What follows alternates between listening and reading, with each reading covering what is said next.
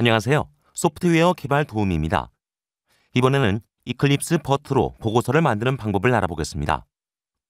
Eclipse BIRT는 Eclipse 기반의 공개 소프트웨어 reporting 도구입니다. reporting 도구는 여러 형태의 데이터 소스에서 데이터를 읽어서 표나 차트 등으로 표시하는 보고서를 작성할 수 있게 해주는 도구입니다. Eclipse BIRT로 보고서를 만드는 실습을 위한 환경은 다음과 같습니다. 윈도우 7 운영체제에서 실습을 진행할 예정이고요. JDK 버전은 1.7입니다. Eclipse BIRT를 설치하고 운영하려면 JDK 또는 JRE 버전 1.6 이상이 필요합니다.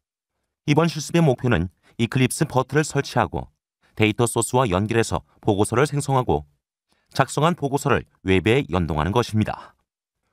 이를 위한 실습은 크게 다섯 가지 단계로 나누어 진행됩니다.